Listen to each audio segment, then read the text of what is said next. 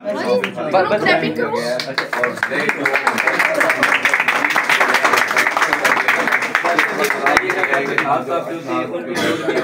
Time पहले की बात है आपने अपना बाइक बेचा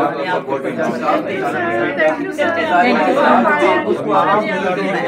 क्या क्या सारा मैं आपको बोलने की कोशिश ही करेंगे वो जो नर्सिंग सुपरिटेंडेंट है कोशिश करेंगे तो बुलाइए खुशी से करें। हमारे वर्कर्स